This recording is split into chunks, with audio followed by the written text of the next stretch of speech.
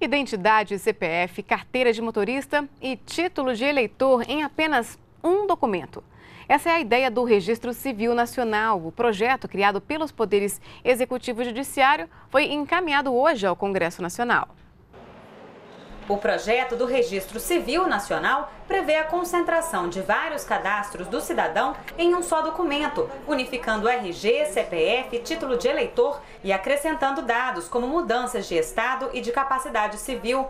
O registro vai permitir ainda a conferência dos dados do cidadão por meio das impressões digitais e do reconhecimento facial. Isso será possível a partir da experiência do programa de recadastramento biométrico do eleitor, colocado em prática pela Justiça Eleitoral nas últimas eleições. A Justiça Eleitoral tem o maior cadastro de cidadãos da América Latina, com dados de mais de 142 milhões de brasileiros. Desse total, 24 milhões e meio de eleitores têm a digital cadastrada.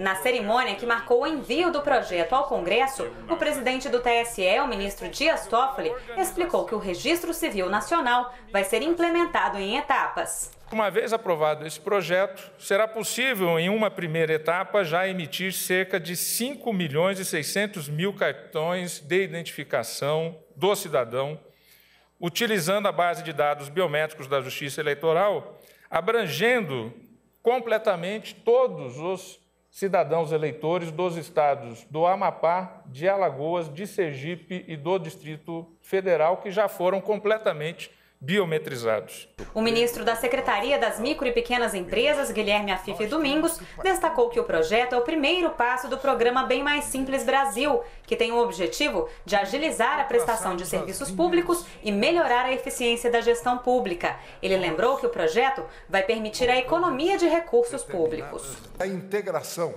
vai trazer economia, eficiência, segurança. Por quê? A identificação inequívoca, inequívoca e unívoca do cidadão é um poderoso instrumento de combate às fraudes. A presidenta Dilma Rousseff ressaltou que o Registro Civil Nacional vai permitir a diminuição da burocracia para os cidadãos. Imaginem a extraordinária mudança na vida cotidiana dos brasileiros. Quem não sonha sair de casa carregando apenas um documento, em vez de ser obrigado a andar com vários deles na sua carteira ou na sua bolsa. Quem não gostaria de fechar uma transação comercial, resolver uma pendência financeira, abrir uma conta ou até registrar um imóvel apenas com a apresentação de um documento?